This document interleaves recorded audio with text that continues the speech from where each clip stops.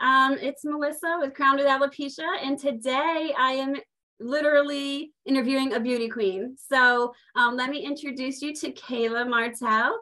And um, Kayla is uh, a former Miss uh, Delaware with the Miss America pageant. And um, Kayla, welcome today. And why don't you tell us a little about your story with having alopecia? Oh, thanks so much. Thank you for having me. I'm so proud of everything you're doing and all the work you're doing. Um, yeah, so I I started losing my hair when I was 11 years old, and uh, I had a full head of long blonde hair before that, so kind of looked like you know the typical ballet dancer, if you will. I always had my hair up in a bun, um, and I really just i think that as many of us do at that age you kind of just take it for granted. So um, when all of a sudden my hair started falling out at the parts and at the crown of my head um, i was completely shocked. And not unlike other people that i've talked to with alopecia uh, i tried to hide it. I actually tried to hide it from my mom and my dad. Um, i just honestly was a little frightened at the moment. And i didn't know what it could be. And the only people that I had ever known in my lifetime that had lost their hair as females um, were diagnosed with cancer and undergoing chemotherapy treatments. And so immediately my naive and young mind went there. I was like, oh gosh, I'm really sick. And so I parted my hair in a unique way every day as long as I could. It only lasted a couple of weeks, but I tried to hide it. And now looking back, my goodness, that's not the person that I am today at all. But that was my initial reaction. And so finally, when I couldn't hide it any longer, my mom had clearly seen what was going on. And I think behind the scenes, she had called my doctor and tried to talk through with them uh, to schedule an appointment. And ultimately, after lots of blood work and the same thing that all of us have gone through. Uh, I was diagnosed with alopecia areata, and my hair loss is a pretty typical story of alopecia areata. So I had very patchy baldness always, and it always has been that way. Mm. I've never had alopecia universalis or totalis. Mm. Uh, it's always been in, in perfect little patches and um, i've lost my eyebrows and my eyelashes and some body hair over time uh, but never completely bald.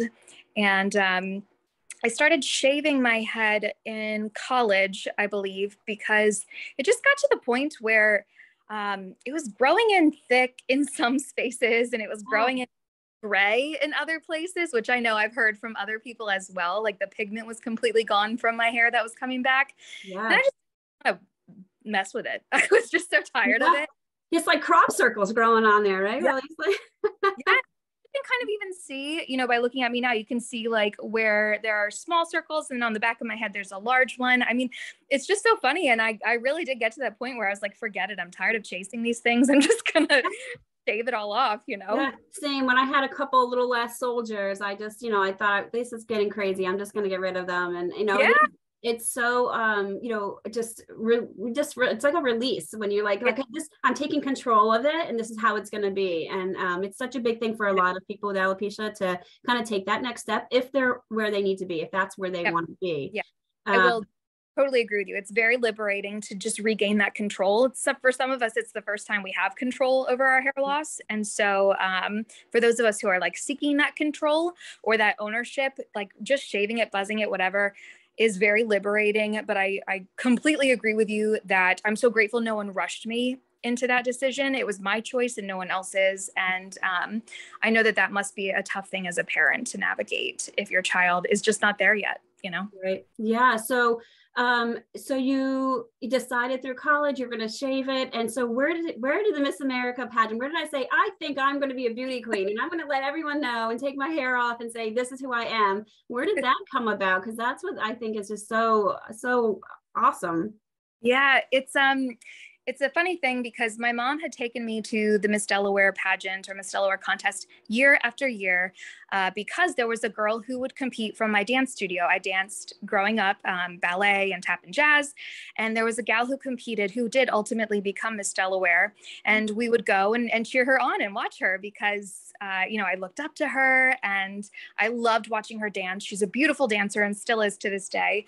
And so my mom just thought it was a fun date night for she and I to do together and go. And um, my mom also th- thought that it was really empowering to see these women on stage and just celebrating women and their talents. And so I, I went as a spectator for many years and cheering someone on that I knew and that I loved. And um, over time, I think just watching, I was like, yeah, I'm going to be up there one day. I'm going to be. and I think my mom, actually, if, if she were here, she would tell you that uh, my mom was the first to think it was not a good idea. My mom thought, this is going to be a disaster. Yes, my daughter is talented and yes, she's beautiful and she's well spoken. However, these people are going to eat her alive. And when I told my mom at 13, that's when I first told her, I was like, I'm going to be Miss Delaware. I don't know when and I don't know how, but it's happening. And I just felt it in my bones. And when I say something, I really try to see it through. It's just who I am. And I think immediately my mom clenched up and was like, oh, oh Lord, we better buckle up. You know, I think she was terrified. And um, the very first pageant that I entered. Um, and for many years, I competed without a wig entirely. And I think after the first one, I did not win the first pageant that I was in as a teenager. And um, that's the case for many people. I didn't win. And I think my mom thought, okay, she's got it out of her system. You know, we're good. We can, we can go back to dance and field hockey and that's where we're comfortable. But the next year I was like, we're doing this again. Okay. Ah. Yeah. She just, you know, was along for the ride, thankfully. And the way that I uh, made my mom comfortable with it, which is just again so funny, is I was like, they offer college scholarships. There you go. That's a mom thing. yes. So, like, if I don't win, even if I place in the top five, I get a college scholarship. Yeah. And so, you know, I had her approval from there.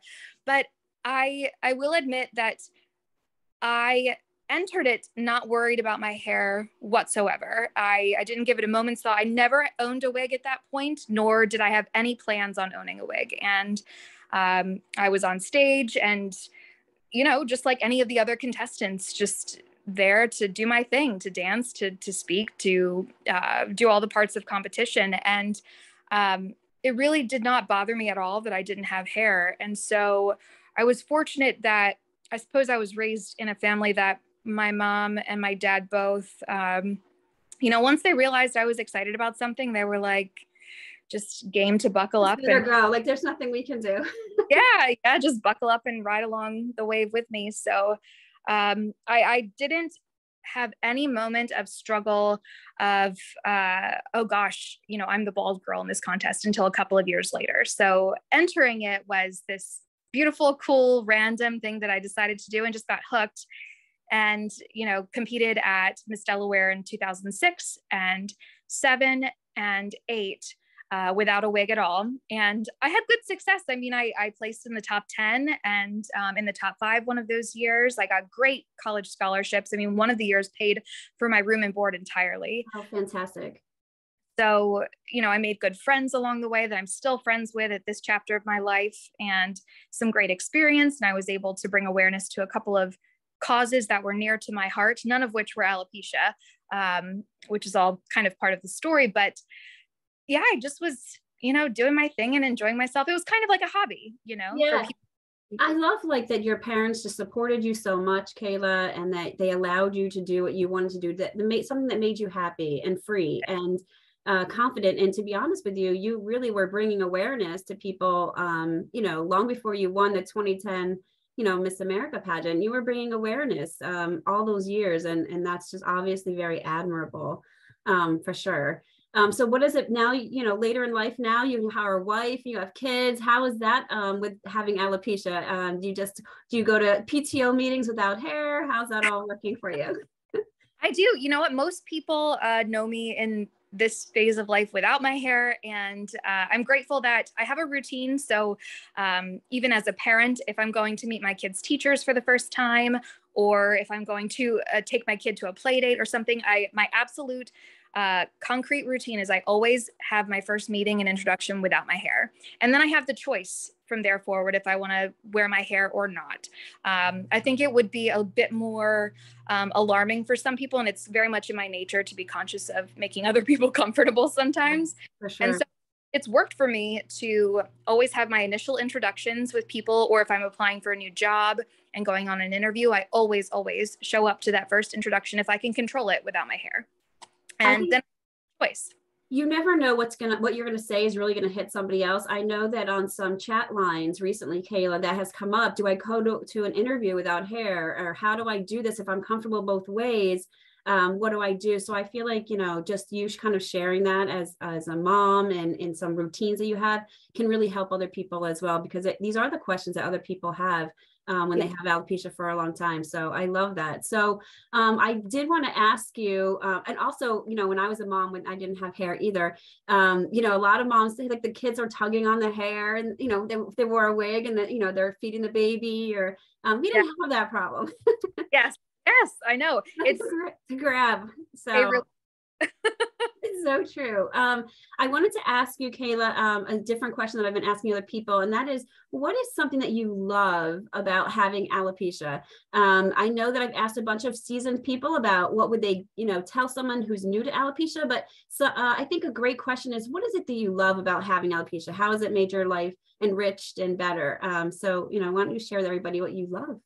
Yeah, you know, we we kind of touched on this when you and I were chatting earlier, but uh, I think the real gift for me in having alopecia, especially being diagnosed younger, is this this gift of empathy. I really think that um, I, I feel like I have a high level of empathy, but not only me, I truly feel like the people that I have met along my journey over the years, over the last 20 years, um, for some reason, you know, I feel like us as alopecia unicorns, we just have this this heart and this gift of empathy to offer other people. And so um, we're able to create this really safe space and allow people to come into conversation with us or or even start the conversation with people and and kind of disarm them and let them know that we get it. We've, we've been through some stuff. We've been through tough things. We've had to make tough choices but we're here and we're together and we're unified in this small to large size group of people who can relate to our experiences. And I, I really think that's a beautiful gift of empathy and relatability. Uh, it's something that is is really special in 2022, I think.